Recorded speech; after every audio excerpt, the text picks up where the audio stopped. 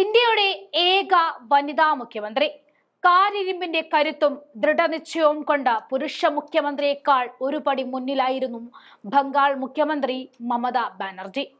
തന്റെ പുരുഷ എതിരാളികളോട് പൊരുതി നിന്ന് വിജയിച്ചു കയറിയവർക്ക് പക്ഷേ തെറ്റിയത് എവിടെയെന്ന് നിശ്ചയമില്ല. താൻ രാജിവെക്കാൻ തയ്യാറാണെന്ന് മമതാ ബാനർജി അറിയിച്ചു. ഇന്ത്യ സഖ്യത്തിന് കൈക്കൊടുത്തത് വരെയുള്ള അവരുടെ ഓരോ രാഷ്ട്രീയ നീക്കങ്ങളും അത്രയും കൃത്യതയാർന്നിട്ടും തോറ്റുപോയി. ജനങ്ങൾക്ക് വേണ്ടി താൻ രാജിവെക്കാൻ തയ്യാറാണ് എന്നാണ് മമതാ ബാനർജി അറിയിച്ചിരിക്കുന്നത്. ആർ ജി കാർ മെഡിക്കൽ കോളേജിലെ ജൂനിയർ ഡോക്ടർ ബലാത്സംഗത്തിൽ ഇരയായി കൊല്ലപ്പെട്ട സംഭവത്തിൽ തുടരുന്ന പ്രതിഷേധം അവസാനിപ്പിക്കുന്നതിനായി മമതാ ബാനർജി വിളിച്ചു ചേർത്ത യോഗത്തിലായിരുന്നു അവർ രാജ്യസന്നദ്ധ അറിയിച്ചത്.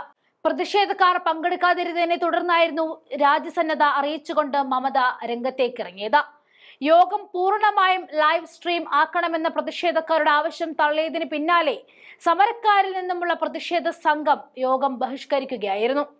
പ്രതിഷേധം നടത്തുന്നവരിൽ നിന്നും പതിനഞ്ച് പേരുടെ പ്രതിനിധി സംഘത്തെ നേരിൽ കണ്ട് ചർച്ച നടത്താമെന്നാണ് ആദ്യം സർക്കാരും മമത ബാനർജിയും അറിയിച്ചത്. എന്നാൽ പ്രതിനിധി സംഘത്തിൽ മുപ്പത് പേരെ ഉൾപ്പെടുത്തണമെന്നും കൂടിക്കാഴ്ച പൂർണമായും ലൈവ് സ്ട്രീം ആക്കണമെന്നാവശ്യപ്പെട്ട് പ്രതിഷേധക്കാർ മമതയ്ക്ക് കത്തയച്ചു. ഈ ആവശ്യം കൂടിക്കാഴ്ചയ്ക്ക് തൊട്ടു മുൻപ് സർക്കാർ നിരസിക്കുകയായിരുന്നു. ആക്രമണത്തിനിരയായി മരണപ്പെട്ട പെൺകുട്ടിക്ക് നീതി ലഭിക്കണം എന്നാണ് തനിക്കും ആഗ്രഹമെന്നും ജനങ്ങൾക്ക് വേണ്ടി താൻ രാജിവെക്കാൻ തയ്യാറാണെന്നും മമത പറഞ്ഞു.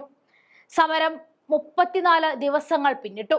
ഒരു മാസം കഴിയുന്ന ഡോക്ടർമാരുടെ സമരത്തിന്റെ ഭാഗമായി ചികിത്സ കിട്ടാതെ ഇരുപത്തിയേഴ് പേരാണ് മരിച്ചതെന്നും ഏഴ് ലക്ഷം പേർ ചികിത്സ കിട്ടാതെ ബുദ്ധിമുട്ടുന്നു എന്നും മുഖ്യമന്ത്രി പറഞ്ഞു.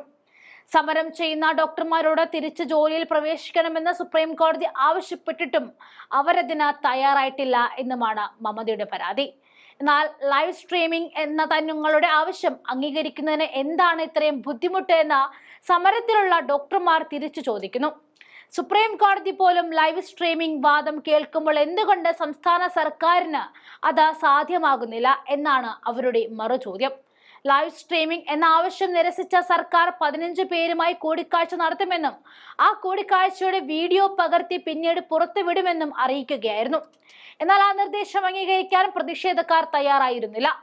ഒരു മുഖ്യമന്ത്രി താൻ രാജിവെക്കാൻ തയ്യാറാണ് എന്ന് പറയുന്നിടത്ത് വരെ കാര്യങ്ങൾ എത്തിയെങ്കിൽ അവിടെ സമാധാനം എത്രയോ അകലെയാണെന്ന് മനസ്സിലാക്കാവുന്നതേയുള്ളൂ മെഡിക്കൽ കോളേജ് വിദ്യാർത്ഥിയുടെ മരണത്തിൽ മമതാ സർക്കാരിനെ വിമർശിച്ചുകൊണ്ട് ഇന്ത്യ സഖ്യത്തിലെ രാഹുൽ ഗാന്ധി ഉൾപ്പെടെയുള്ളവർ രംഗത്തേക്ക് വന്നിരുന്നതാണ്.